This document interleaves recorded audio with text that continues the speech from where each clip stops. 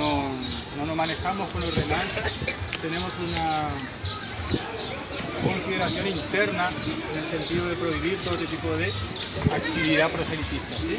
Esto es un paseo y preservamos la tranquilidad y en ese sentido evitamos que cualquier partido político haga este tipo de actividad y por eso necesito por favor que colabore y entienda. ¿sí?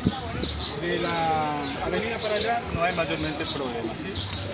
Eh, le quiero decir, todo tiene que estar basado en una ley o en una ordenanza o en una resolución. Así es. No hay... El diputado nacional, yo soy Sí, concejal de ella diputado. O sea, Entiendo. Yo, entiendo, ¿sí?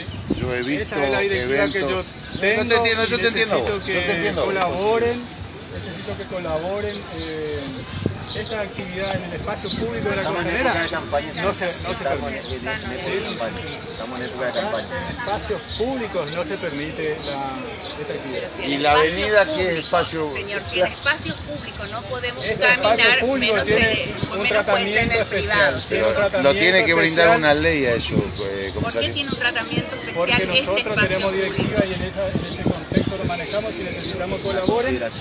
Que colaboren porque preservamos esto que es... comisario, es eh, una disposición verbal no, no. ilegal. No, no sé, no. usted habla de legalidad, yo hablo de, de- de una protección de este espacio Está bien, pero en todos los sentidos.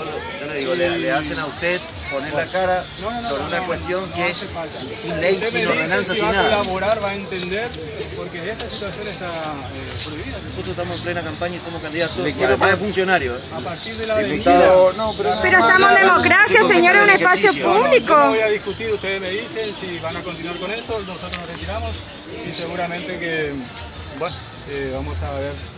Deténganos. No, no. Hagan lo que tengan que hacer, ningún contexto.